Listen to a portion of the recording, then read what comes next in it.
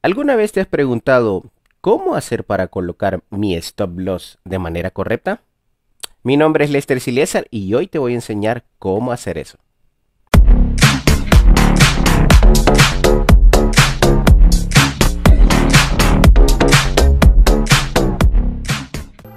Resulta que probablemente utilizamos mal algunos parámetros, primero pensamos que es de acuerdo a los pips, de acuerdo a la zona, X, Y, Z razones, las que sean.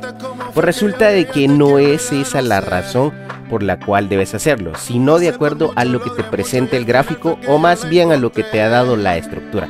Hoy te lo voy a demostrar con un pequeño ejemplo para que entiendas cómo hacer para colocar de una manera eficaz tu stop loss. Ok, entonces les voy a demostrar en este sintético, en el Volatility 150, este que ustedes están viendo en pantalla, vean esta parte de acá. Lo mandé ayer a las 8 de la noche, ayer ahí dice la fecha, miércoles 19 de julio, a las 8 de la noche con 14 minutos. Vamos a darle acá.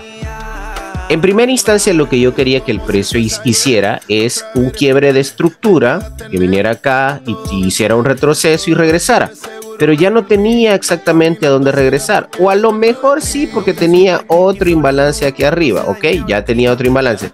Pero donde estaba me gustaba mucho porque el imbalance era muchísimo más grande, que ya estaba corrigiendo, y entonces podía ser que el precio ya no regresara hasta aquí arriba, sino que cayera y luego sí diera la entrada. Entonces, lo que decidí fue lo siguiente. Si el precio volvía a subir hasta esta zona, entrar, tomar una entrada y que el precio pues al final terminara de reaccionar y llegara justamente a su TP. Ahora, ¿cómo coloqué el stop loss? ¿Cómo lo hice? ¿Cómo tomo yo la decisión de colocar mi stop loss?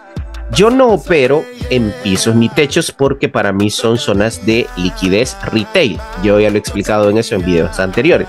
Pero vean lo siguiente. Yo sé que el precio tiene este último alto que ha hecho. Y yo voy a, colocar, perdón, mi stop loss un poquito arriba de ese último alto que ha hecho, ¿ok? Lo coloco ahí y espero que el precio vuelva a subir, pero sin sobrepasar este alto. Por eso voy a colocar mi stop loss justamente aquí con 550 pips y voy a ir por 1650, justamente en esta zona. Ok, el precio pudo haber solamente llegado acá y luego caer nuevamente, pero yo le estoy dando todo este margen, todo este margen de, espacio para ver si el precio puede desarrollarse en esta parte de acá y al final sí tomar la decisión de caer. Ok, entonces veamos lo que realmente hizo el precio en tiempo real. Vamos a ver qué es lo que hizo el precio que está acá. Ok, veamos esto. Veamos acá qué hizo el precio. Bien, si se dan cuenta, en, aquella, eh, en aquel gráfico que les acabo de mostrar, solo había subido dos veces. Sí, dos veces. Lo voy a ir a poner otra vez para que ustedes vean. Aquí está, mire, dos veces había subido, solo habían dos mechitas justamente en esta zona de acá. Es lo mismo que tenemos aquí, justamente es lo mismo. Vamos a borrar, sigue cayendo muy fuerte ahorita el precio. Entonces, estas dos mechitas que ustedes tenían acá ya había subido y volvió a subir otra vez y había dado como que la entrada muy bonita, pero al final el precio termina de subir un poquito más. Ok, perfecto. ¿Qué creen que pasó? Yo ya le había puesto mi stop loss por encima, perdón, la línea tan recta que acabo de colocar. Una, un precio, una, un, mi stop loss ya se lo había colocado un poquito más arriba. El precio, es lo que hace?